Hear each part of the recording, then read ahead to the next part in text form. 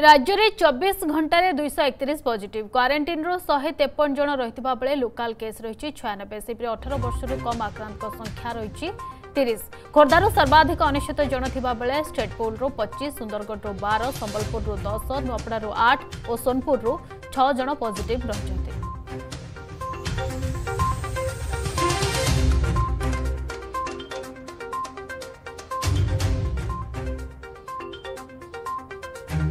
চব্বিশ ঘণ্টার রাজ্যের পুঁ দুইশ একত্রিশ পজিটিভ চিহ্নট হয়েছেন খোর্ধার সর্বাধিক অনেশত জন পজিটিভ চিহ্নট হয়েছেন এবং